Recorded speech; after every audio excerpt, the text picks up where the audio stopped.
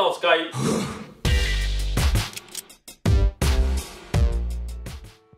很多人跟我反映说啊，因为工作的关系、经济的关系，没有办法上健身房，或者是本身完全没有接触过健身房的器材，就算去了也不敢使用。然后健身房一堆长相凶恶的巨巨，根本也不敢开口发问。其实说到这个长相凶恶的巨巨嘛，这完全是一个天大的误会。你只要有礼貌的发问，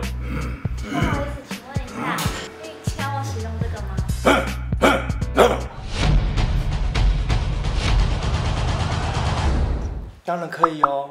回到正题，一定得去健身房才有机会练出好身材吗？在家训练其实根本只是一种幻想吗？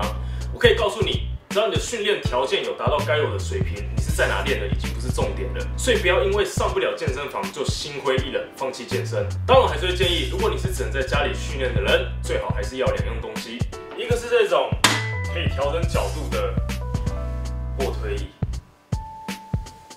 另外一个是这种可以自己拆装杠片的哑铃。今天我跟大家介绍如何用卧推椅加哑铃，花四天练完全身。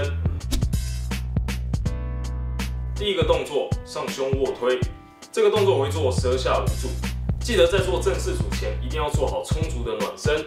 下放时吸气，上推时吐气。第二个动作，平胸卧推，十二下五组。在做卧推时，记得肩胛后收，双脚稳踏地面，头肩臀。好好贴着卧推椅，下放时慢而稳，上推时好好感受胸肌的发力。第三个动作，二头慢弯举，十下四组。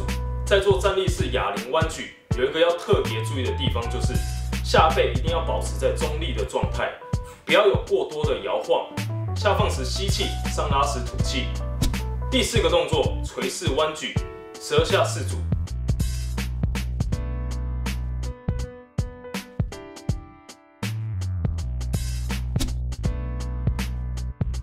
第一个动作，单臂哑铃划船，十二下五组。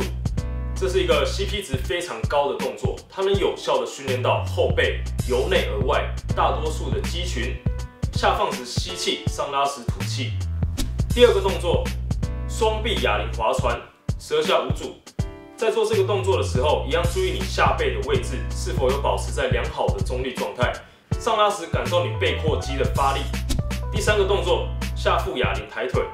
二十下三组，如果你还没有办法负重的话，先空着双腿也可以，全程感受你下腹的紧绷感。第四个动作，上卧卷腹，二十下三组，臀部贴地，肩膀不着地，双手交叠向前伸展至双膝中间，维持上腹紧绷感。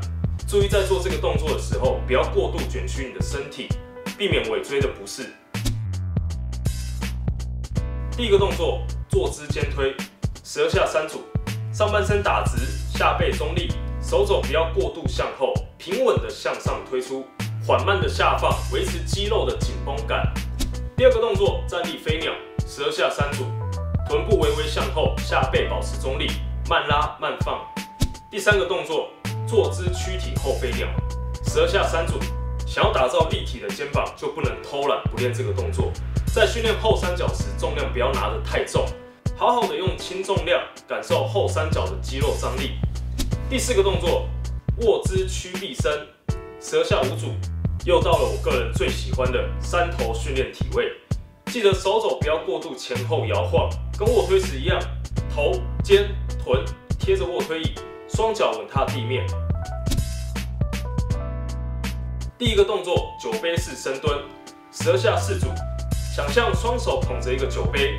膝盖顺着脚掌外八的幅度下蹲至低点再起来，记得我们一样把下背保持中立。第二个动作哑铃硬举，十二下四组。这个动作可以训练我们的臀、腿后侧、后背。记得起身的时候要把我们的臀部向前推出。第三个动作哑铃甩摆，一分钟三组。做这个动作的时候，用我们髋周围的肌群向前推出，带动手臂把哑铃向上甩。想象一下，哑铃是被你顶飞出去的，而不是靠着上半身把哑铃举起来。好，那以上就是我带给大家卧推椅加哑铃的四天全身训练菜单。记得随着身体慢慢的进步，负重也要慢慢的跟着往上加。就算你真的没有办法上健身房，透过这样规律的训练，一样可以练出很棒的身材。好的，那我们今天的影片就先到这边。有任何问题，欢迎留言给我。想看更多的话，就记得订阅喽。我是健人盖我们下次见，拜拜。